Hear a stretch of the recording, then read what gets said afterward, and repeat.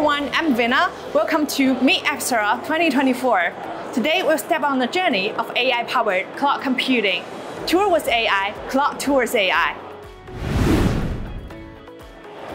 As for the three waves of cloud computing, the first one was with internet, the second one was with the digital transformation of a traditional industry, and the third one was AI. Maybe you've heard the extremely popular game, Black Myth Wukong. I've heard that you can play this game on Alibaba Cloud Workspace terminals. Let's check it out. Hi everyone, so now we have Win here uh, in front of the Wuying desk. So right now we have Wukong, the best-selling game in China. So Win, can you share with us uh, how, how does Wuying help us help computer users play with the game? Okay, um, first of all, um, Actually, we have changed the product name from Wuying to Alibaba Cloud Workspace. Right. Because uh, now that we have so many customers from all over the world, so uh, we need to consider the pronoun- uh, the convenience of pronunciation for them. As for Alibaba Cloud Space, it can help uh, end users like myself to play this video game without a local PC. Because many users like myself, we don't have a uh, enough best performance local PC to run this game. But uh, with a Alibaba Workspace uh, cloud computer, we can get access to the cloud resource and play this game just like a local PC experience. So for computer users who really want to play the game without having a PC headset, they can definitely try the Workspace uh, terminal to be able to try out the game. Right. So Win, could you share with us what are some of the AI capabilities of the ACW? Okay. Um, after this year, we have introduced many new features that are powered by AI this year. Um, I can think of three points. And first of all, uh, as we know, we are fully committed to creating a uh, future office for uh, customer needs, and we have we now have a AI uh, assistant. Uh, it's called Xiaoying. You can think it's an application, and through, uh, through this uh, Xiaoying assistant, uh, our customers can use it to do some work like uh, translation, uh, drawing, or conversation, searching, even coding. And, and secondly, we also have a AI chatbot in our software side, and we have performed some SFT and some retrieval enhancement based on our knowledge base and FAQs so that uh, when our customers uh, come across some issues, they can just directly talk to the uh, AI chatbot and they can solve the problems themselves.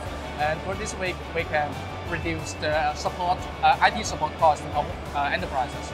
And the third point is that we also have an AI chatbot in our management console, and our enterprise administrators can just directly talk to the uh, chatbot in the console and he can issue his in- instructions like uh, maintenance, operations, and the AI chatbot will break it down into several tasks, and these tasks can be educated and monitored. And for this way, we can uh, perfectly enhance the productivity of the IT manager. So thanks very much, Win, for sharing with us the three points. I know that in your hand you have a, um, a desktop the size of a Right? palm. So would you like to share with us about this? Yeah. Um, actually, uh, Alibaba Space is kind of a uh, DaaS service, and traditional DaaS service they focus more on the management part.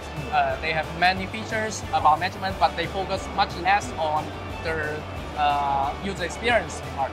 And for us, we actually place a strong emphasis on optimizing the user uh, experience. So uh, for us, we have a full range of software clients and also a full range of hardware clients so that our customers can get access and use the cloud resource through any devices that you can imagine, including this one. Have you ever thought that we can have an AI chatbot helping you to deal with tons of data and providing you the valuable insights efficiently? Quick BI is here to help. So we are with Chris today at the um, Ling Yang booth. So Chris, what do you have to share with us today? Our product is a business intelligence platform, and we already select into Gartner Magic Quadrant for five constant years.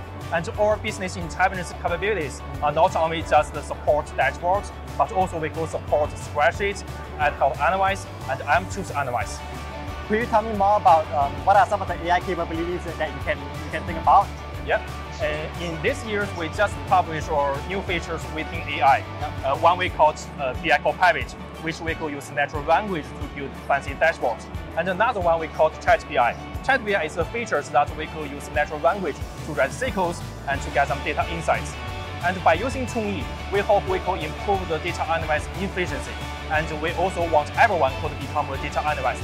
Wow, with Quick BI, I think I can be a data expert as well. Thank you for watching today. Let's continue our trip tomorrow. Bye!